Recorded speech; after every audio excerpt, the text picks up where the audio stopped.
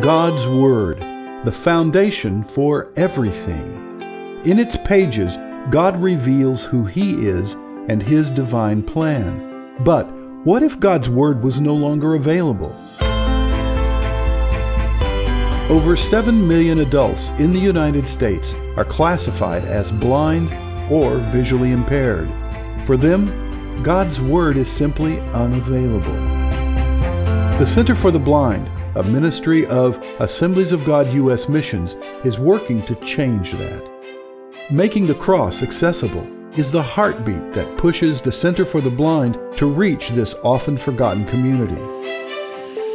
You see God's handiwork, whether it's a glowing sunset, a field of lavender, or an awe inspiring waterfall.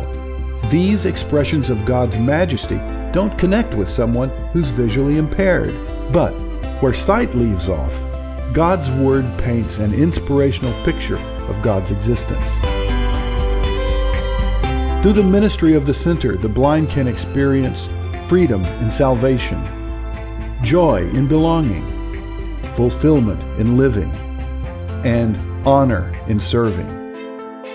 The center offers free resources, discipleship, and training materials to assist those in the blind community to deepen their walk with Christ and strengthen their place in the church. To continue and grow the reach of the Center for the Blind, we need your help. Your financial support or the gift of your time can help make a significant impact in someone's life. Donate to the center to help provide necessary tools and resources.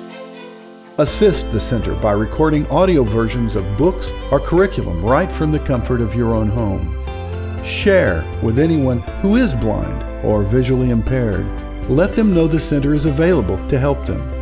Pray for the missionaries and volunteers at the center as they seek God's guidance to create resources for the visually impaired community globally. With your help, we can make the cross accessible to all. To learn more about how you can partner with the Center for the Blind, visit us at blind.ag.org or call us at area code 417 831 1964.